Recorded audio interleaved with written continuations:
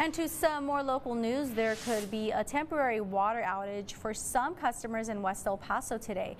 This will be from 10 a.m. to 1 p.m. El Paso Water says customers in the Ridgecrest neighborhood may not have water service or may also experience low water pressure during this time.